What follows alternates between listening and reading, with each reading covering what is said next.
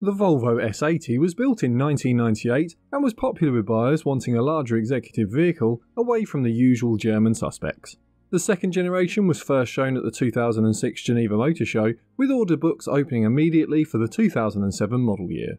The second gen was built on the P3 platform, a variation of the Ford EUCD chassis floor that also underpins the S60, Freelander 2, and Ford Galaxy although to maintain Volvo's safety regime, strengthening and additional safety protection is added to the structure of the S80.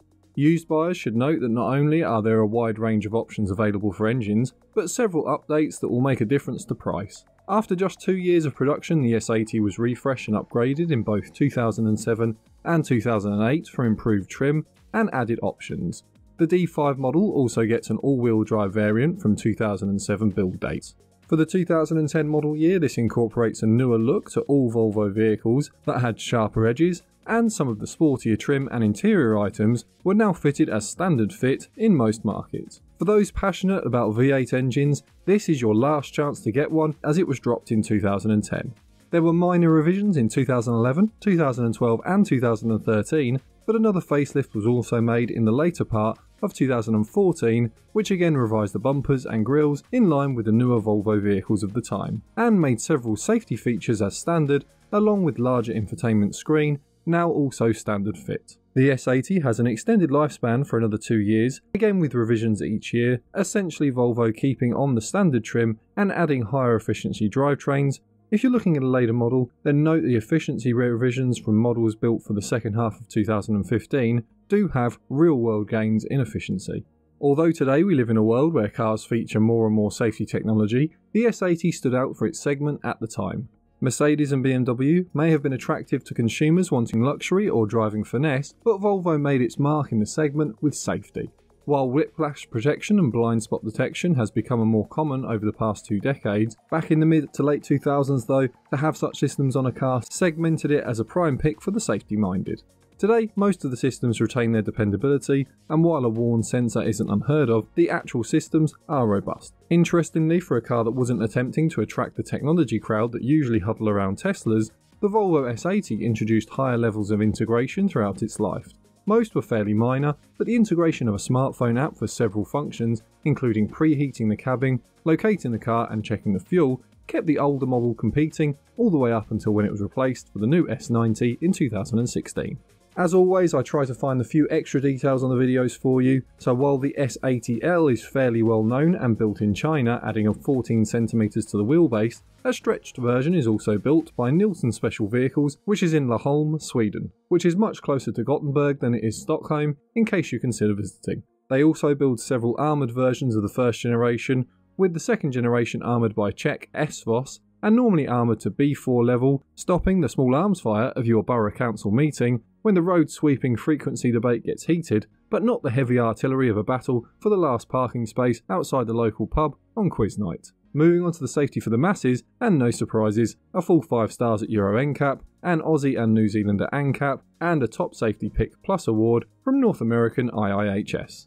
Next to the common faults and a reminder to add a like if you enjoy the guide, as information videos like this one normally get recommended on the back of likes from viewers. First is something you won't be able to see easily, but may feel on a test drive, the gearbox oil cooler for auto models is mounted quite low and susceptible to catching on road humps, which can cause a leak. If the car has been run on low oil, it will change harshly and could already have damaged components, needing a transmission specialist repair. A top tip is to take it for a drive, get back to have a chat with the owner or a salesman for 10 minutes or so, and then ask to move the car forward a few feet or meters. If there's no transmission fluid on the floor, then you are likely looking at one without this issue. Between 2006 to 2010, I found several owner reports of electrical issues. However, on the plus side, most considered these small annoyances, like the infotainment freezing and then operating just fine after the car was shut off and then on again, rather than any major electrical failure, as I end up reporting on some cars. For this reason, it is worth spending some time when viewing a car just pressing every button, turning every dial, and prodding every switch so that you can make sure it works. Steering wheel modules are a larger concern as the part itself can be costly and buying used carries the risk of having the same issue again. If the steering buttons, indicators and horn all don't work, then this is the likely culprit. The ABS module has reports of failures. Fortunately this is easier to diagnose as you'll likely see a warning light specific to the ABS on the dashboard. If you're looking at a 2007 to 2010 build car, then ask whether the auxiliary belt has recently been changed. This isn't particularly expensive and is worth changing as preventative maintenance, as several owners reported premature failure, with heavy steering being the first sign of a problem. If the fuel tank level doesn't seem to change much, it probably isn't great fuel efficiency and instead a software fault. A simple update of the software should get the gauge working again. If you're looking at an all-wheel drive version, then listen for any metallic rubbing noise. This problem is caused by the exhaust pipe and drive shaft making contact. Some owners have got an additional exhaust hanger to solve this. When viewing, make sure the key slides out of the ignition easily. If it gets stuck, then the gearbox shifter cable is likely worn or failing. As with several Volvos on this chassis, the front arms wear faster than some other cars, and so if you get a knocking or squeaking noise from the front of the car, it is likely the front arm, or wishbones as you may know it, is due for replacement. Most garages should be able to do the job, but a Volvo specialist will likely see this regularly and so may offer the best deal. Speaking of suspension, the rear shock absorbers appear to fail before the front on high mileage cars, so if you're looking at a highway hero, then listen out for any creaking from the rear or poor handling on sharper corners. It is also noted that the longitudinal stay on the rear fails due to corrosion of the outer bushing. This will cause a clunk noise and make the rear less stable. Volvo issued a technical journal for this issue in 2012 coded 25336. Models built from mid 2012 are less affected. Any vibration at idle is likely an indication of an engine mount that has failed. The top left, as you look at an engine from the front of the car, are usually the first to go. Overall, most owners were happy with the S80 and accepted one or two of these failures. Very few cars experience every common fault, and most S80 owners have been content with just service work and the occasional larger job to keep the car running. The recalls are next, but a reminder that we now have over 150 guides on the channel, so there are plenty of other guides you can view after this if you're deciding between several cars. There were three recalls in 2009. The first was for the windscreen wipers not operating correctly due to the central electronic module named CEM having a faulty coding. The second was for the front mounted fan for engine cooling not operating due to software faults in the fan control module. The last was for the fuel pump on T6 models not operating, again tracked down to a module, this time the pump electronic module or PEM. In 2010 there were three recalls, the first was for premature wear of the belt tensioner, this is now an established common fault, a third recall for the issue was made in 2011. The third recall in 2010 was for the airbag fault on VIN range 123254 to 136536. This run of production could suffer a short circuit from the clock spring wiring and not operate. In 2011, a recall was issued for the 3.2 SI6 models, built in 2007, due to a failure of the power steering return line due to incorrect routing at the factory. Finally, a late recall was made in 2020. This was due to the seatbelt connections onto the steel cables fatiguing, risking a seatbelt failure. Owners were advised on this during 2020 and booked into the dealer later in the year due to the parts shortage. Now onto the engines, and I know many of you are holding your breath for the V8, but let's cover the diesels first, as they are still a popular choice today. Saying that, we'll start with the smallest and rarest option, a 1.6 turbo diesel coded D4164T, producing 107 brake horsepower and with an average of 62.8 miles per gallon, or 4.5 litres per 100 kilometres. These are fitted in trim D2 and Drive E, and will be introduced around 2009, but as with all of the engines, where you live will make a difference as to what you get offered and when. As these were unpopular in the S80, I've used data from other guides for the engine reliability, as there was just too few reports in the S80. As with most Volvos, the engine is a Ford derived unit in 2009 and 2010, and with little change, but in 2010, Volvo made several updates to improve reliability. Earlier engines can suffer with oil sludge due to the design, which can then cause turbo failures but a more common problem was the dual mass flywheel failing, which will cause a shudder at idle. 2011 onwards are best, but how common these issues were on the small number of S80 models with the engine is hard to know. The 2 litre diesel was popular with some company buyers due to the emissions and tax incentives at the time. The engine is coded D4204T and is a 4 cylinder usually badged either D3 or 2 litre D depending on how specification is shown in your region. A later version of the engine is coded D4204T5 and is fitted to cars badge D4 from 2014. Power is rated at 134 brake horsepower in the D3 or 2 litre D offering, and then 178 brake horsepower in the later D4. Fuel economy is officially averaged the same as the smaller engine at 62.8 miles per gallon, or 4.5 litres per 100 kilometres, likely due to better gear ratios. The diesel particulate filters have been reported to wear earlier than owners expected, although your type of driving will have a bearing on it. Some reports as little as 60,000 miles or 100,000 kilometres, if looking at an early model without a DPF filter, then this is one less worry. Fuel filter changes often get missed on these cars if not serviced at Volvo or a specialist, so add that to your to-do list if there isn't a service record of it. A later version in D4 trim is Euro 6 compliant, a bonus if you live somewhere with city emissions restrictions, although turbos have been reported as a common failure point from owners with a mix of driving style, so make sure to look out for any smoke from the exhaust or flat spots in acceleration on test drive. Then we have the diesel 5 cylinder, the one that many of you will be most enthused by. Early on you can buy either a 2.4D and 5 cylinder D4 or D5, making 161 and 182 brake horsepower respectively. From 2009 both engines get updated in most markets, however the D4 version of the 5 cylinder carries on for some markets until 2014. The 2.4D gets 173 brake horsepower and the D5 202 brake horsepower in some markets. Others get a 212 brake horsepower model across varying model years. Some will have this engine earlier than others, so I won't put a specific date on it, but the engine code ends 44TX instead of 44T10 or 44T4. For those wanting the one badge 2.4D, but with the power boost from 2019, it now uses engine code 44T14 instead of 44T5. All-wheel drive is offered on the D5 models in most markets, Fuel economy does vary slightly over the years and specifications, but 46.3 miles per gallon or 6.1 litres per 100 kilometres, officially recorded on the 2014 D5 models, can serve as a rough guide. Hailed for its reliability and well-built construction, I have little to report, but a good service history and previous owners that know just because an engine is well respected doesn't mean it can miss a service. If there is a weak spot it will be an injector failing after running with a partially gummed up for a long period of time, but this is generally noted at very high mileage. Emissions equipment like the DPF is par for the course on any diesel and will need changing at some point on these 5 cylinders. Moving on to the petrol engines and there are a wide variety of engines with several different specifications and outputs. I'll try to combine engines that share major components to simplify the guide. I'll start with the smallest motor, a 1.6 litre turbo motor coded B416 4T.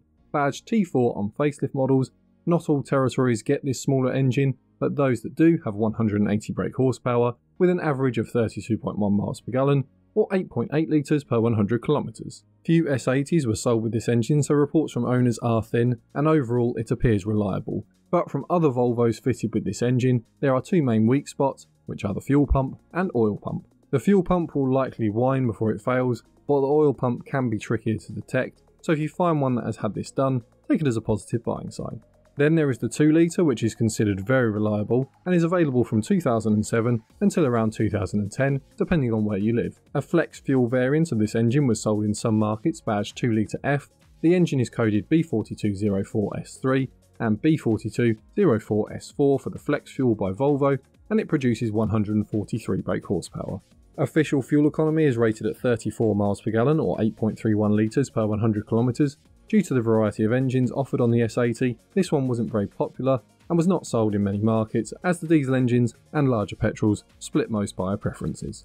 Saying that the 2litre T engine, similarly coded B4204T6, did find an audience but was not sold for long, with most markets only having two sales years. It was usually badged T5, few complaints were made although again this is a relatively small seller when compared with the other engines offered, Power is rated at 200 brake horsepower, with fuel economy rated at 35.6 miles per gallon or 7.93 litres per 100 kilometres. The replacement for this engine arrives in 2013.